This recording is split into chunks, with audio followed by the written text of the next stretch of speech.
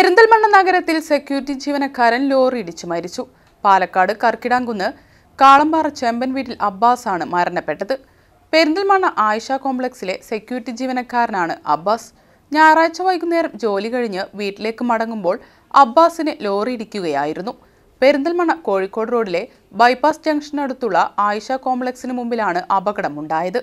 Perinthalmanna police inquest നടപടികൾ സ്വീകരിച്ചു.